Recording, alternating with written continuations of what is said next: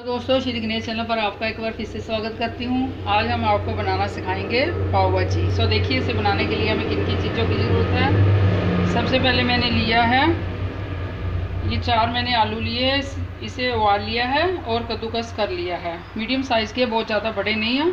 आप अगर ज़्यादा बनाना चाहते हो तो ज़्यादा भी ले सकते हो। एक मीडियम साइज़ का प्याज लिया छोटे छोटे टुकड़ों में काट लिया है। तीन मैंने लाल रंग के टमाटर लिए थे, उसे भी छोटे छोटे टुकड़ों में काट लिया है। दो तीन मैंने हरी मिर्ची ली है, उसे भी छोटे छोटे टुकड़ों में काट लिया है। और एक चम्मच मैंने अदरक लहसुन की पेस्ट ली है। और ये मैंने रेड चिली पाउडर लिया है, एक बड़ी चम्मच। एक मैंने शिमला मिर्च ली है।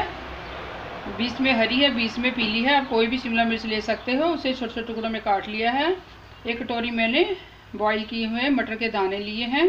नमक लिया स्वाद अनुसार पाव भाजी मसाला एक बड़ी चम्मच लिया है, धनिया पत्ती ली है एक बड़ी चम्मच, और मैंने ये बटर लिया है एक टुकड़ा, और सूरजमुखी का तेल लिया है। सो चलिए बनाना शुरू करते हैं। इधर मैंने एक नॉनस्टिक पैन लिया, उसे गर्म करने के लिए रख दिया है। सबसे पहले हम उसमें तकरीबन एक चम्मच छोटी तेल का डालेंगे, और साथ में ही ये बटर डाल देंगे। इसे हल्का सा मेल्ट होने देते हैं। देखिए बटर हमारा हल्का सा मेल्ट हो चुका है। सबसे पहले हम अदरक, लहसुन की पेस्ट को हल्का सा भूनेंगे। बहुत ज़्यादा नहीं भूनना हल्का सा ही भूनेंगे। देखिए, अदरक, लहसुन का पेस्ट हमारा हल्का सा भून चुका है। अब हम इसमें कटे हुए प्याज भी डाल देते हैं और ये हरी मिर्ची भी डाल देते हैं। और ये शिमला मिर्च और मटर के दाने इसे भी डाल देते हैं। अच्छी तरह से मिक्स करते हैं। और साथ में हम नमक भी डाल देते हैं ताकि ये सारे चीज़ें हमारी जल्दी से पक जाएँ। इसे हल्का सा हमें पकाना है, बहुत ज़्यादा नहीं पकाना बीच बीच में इसे चेक करते रहना है। देखिए, एक बार चेक कर लेते हैं शिमला मिर्च और टमाटर मटर को। देखिए, मैंने इसमें मटर और शिमला मिर्ची डालनी है। आप अपनी पसंद अनुसार कोई भी सब्ज़ी डाल सकते हो, जैसे गाजर, गोभी, कोई भी चीज़ ले सकते हो, जो भी चीज़ आपको पसंद हो, वो ले सकते हो। देखिए, सब्जियों को चेक कर लेते हैं। सब्ज़ी हमारी काफ़ी नरम हो चुकी है। अब हम इसमें ये कटे हुए टमाटर भी डाल देते हैं। इसे भी अच्छी तरह से मिक्स कर देते हैं। और साथ में ये लाल चिल्ली पाउडर भी, और साथ में पाव भाजी, मसाला भी। इसे भी अच्छी तरह से मिक्स कर देते हैं।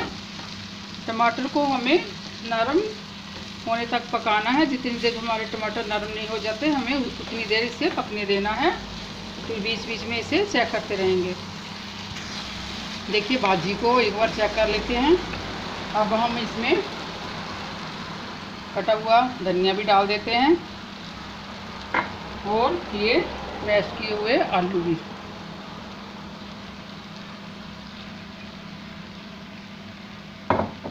इसे भी अच्छी तरह से मिक्स करेंगे। देखिए, सभी चीज़ों को मैंने अच्छी तरह से मिक्स कर लिया है। अब हम क्या करेंगे? एक मैशर के सहारे से अच्छी तरह से मैश करेंगे। इसमें पानी हम बिल्कुल अभी नहीं डालेंगे, नहीं तो ये अच्छी तरह से सब्ज़ियाँ मैश नहीं होंगी। बिना पानी ही इन्हें मैश करना है अच्छी तरीके से। देखिए, मैंने सभी चीज़ों को मैश कर लिया है, मैशर के सहारे। अब हम इसमें पानी डालेंगे। दो गिलास हम इसमें पानी के डालेंगे। आप चाहे तो ज़्यादा भी डाल सकते हो। अगर आप भाजी को पतला पसंद करते हो तो थोड़ा और डाल सकते हो, आधा गिलास। इसे भी अच्छी तरह से मिक्स करेंगे और थोड़ी देर के लिए और पकाएँगे। देखिए, भाजी हमारी बन चुकी है, मैंने इसे पाँच मिनट और पकाया है। अब हम इसे एक बाउल में निकाल लेते हैं और पाव को तैयार करते हैं।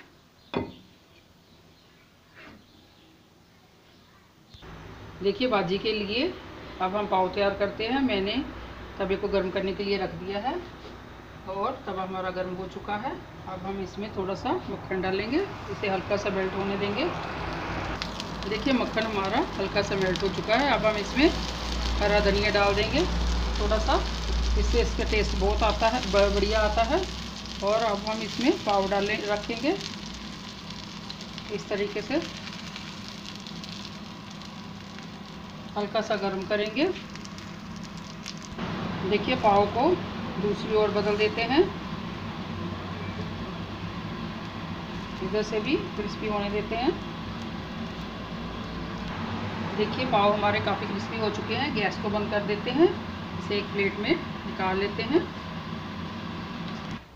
देखिए, मैंने पाव को सेक कर एक प्लेट में डाल लिया और भाजी को भी एक कटोरी में।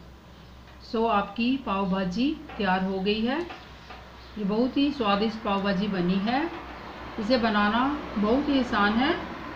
आप भी एक बार ज़रूर ट्राई कीजिएगा और अगर मेरी वीडियो आपको पसंद आई हो तो लाइक करना और सब्सक्राइब करना ना भूलिएगा। एक बार फिर मिलते हैं एक नई वीडियो के साथ। तब तक के लिए नमस्कार।